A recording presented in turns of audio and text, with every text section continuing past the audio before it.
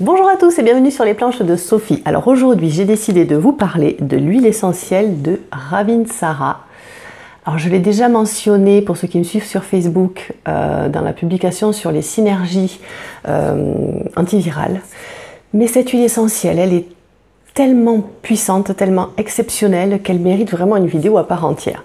Le Ravinsara, c'est un arbre qui est très grand, il peut faire entre 15 et 30 mètres et on va le retrouver essentiellement à Madagascar. Euh, sur les hauts plateaux et à Tana, la capitale, il y a toute une allée avec des Ravinsara. Euh, bah, je fais une bise à Prosper au passage. Il y a tous les enfants euh, malgaches parrainés par l'association Vivre à Madagascar, dont je suis la secrétaire. Bref, c'était un petit clin d'œil au passage qui me tenait à cœur. Revenons au Ravinsara, qu'il ne faut surtout pas confondre avec le Ravensara, qui est aussi un arbre qui est originaire de Madagascar, mais ils n'ont absolument pas les mêmes vertus, les mêmes propriétés. Le Ravensara, il est utilisé pour ses propriétés anti-stress, alors que le Ravinsara, lui, c'est un antiviral puissant. Alors, on dit même que c'est le plus puissant antiviral au monde. Voilà. Le nom latin du Ravinsara, je ne sais pas si vous allez le voir, c'est quand même écrit petit, c'est Cinnamomum camphora. Alors, on fait de l'huile essentielle avec cet arbre que depuis environ 25 ans. On connaissait l'arbre, mais on n'avait jamais distillé ses feuilles, et donc personne ne savait à quel point cette huile essentielle était puissante. Euh, on a découvert cette huile essentielle en Occident il y a environ une quinzaine d'années, quand il y a eu la grippe H1N1 et euh, elle a beaucoup servi. Je dis ça au passage, je dis ça, je dis rien. Cet arbre fait partie de la famille des camphriers. Alors en malgache, Ravina veut dire feuille et Tsara bonne.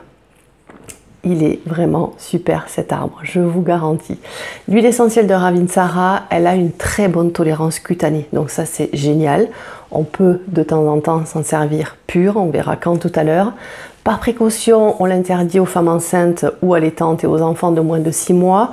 Pour autant, sur avis médical, euh, l'huile essentielle de Ravinsara peut être prescrite. Et pour les enfants de moins de 6 ans, les dosages vont être vraiment adaptés.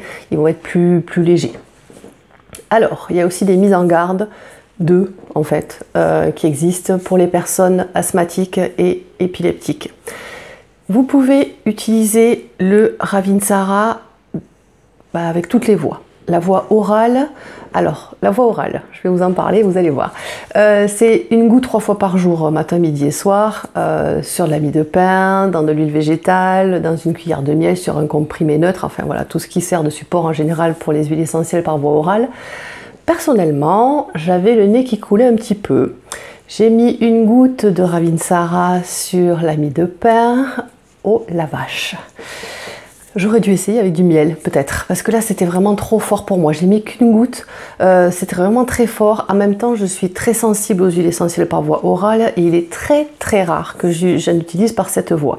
Là, je l'ai fait, j'en ai mis qu'une, mais par contre, dès le lendemain, j'avais plus rien. Alors que c'est vrai que ça faisait plusieurs jours déjà que je traînais ce rhume.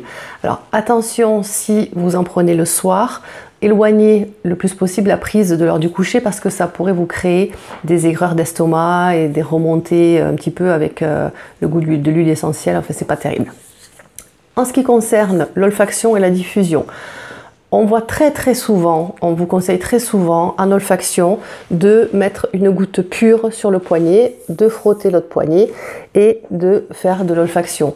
Alors moi l'odeur tient pas très longtemps, mais bon voilà, Très souvent, on vous dit de faire comme ça. Euh, pour ce qui est de la diffusion, avec un diffuseur, elle assainit l'air, elle désinfecte l'atmosphère, donc c'est très bien. Il faut juste pas en abuser parce qu'elle peut assécher les bronches. Pour la voie cutanée, donc en massage, on s'en sert sur le thorax, les bronches, les poumons, euh, voilà tout ce qui va avoir, euh, tout ce qui va être impacté quand on a un virus, notamment un virus ORL. Alors venons-en à ses propriétés. Comme je vous l'ai dit tout à l'heure, c'est un antiviral puissant. Quand on pense virus, souvent on pense à la grippe, mais en fait le Ravinsara il vous accompagne aussi si vous avez n'importe quelle euh, affection d'origine virale. Ça peut être un herpès, un zona, une varicelle, etc. Donc ne le cantonnez pas juste à la grippe. Euh, le Ravinsara est aussi anti-infectieux, expectorant, antibactérien, immunostimulant. Donc tout ce qui est rhume, grippe, toux, bronchite, sinusite, otite, euh, déficience immunitaire, euh, donc on a dit maladie de peau, etc. Elle agit aussi sur les courbatures qui sont provoquées par la fièvre. Bref, c'est vraiment votre allié numéro un pour lutter contre les virus et c'est très souvent en hiver, mais bon, on en a aussi en été.